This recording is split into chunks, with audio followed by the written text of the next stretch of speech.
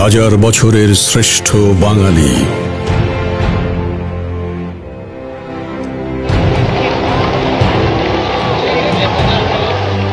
শ্রেষ্ঠতম ভাষণ। যখন দিয়েছি, রক্ত আরও দেব। এদেশের মানুষকে মুক্ত করে ছাড়বো ইনশাল্লাহ এবারে সংগ্রাম, আমাদের মুক্তির সংগ্রাম। এবারে সংগ্রাম, স্বাধীনতার সংগ্রাম। একটি জাতির জন্ম। মহান নেতার সেই ভাষণ আজ ইউনেস্কো স্বীকৃত বিশ্ব প্রামাণ্য ঐতিহ্য।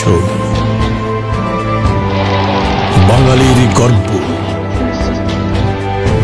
অভিনন্দন বাংলাদেশ।